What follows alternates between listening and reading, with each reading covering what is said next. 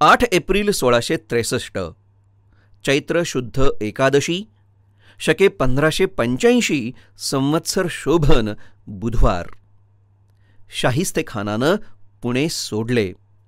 महाराजांची दहशत खाऊन शाहिस्ते खानानं सोडलं आणि औरंगाबादकडं प्रयाण केलं.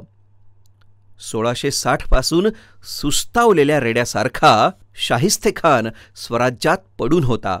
मात्र हल्ल्यानंतर केवळ जीवाच्या भीतीनं तिसऱ्याच दिवशी पुणे सोडून जीवाच्या आकांतानं पळाला.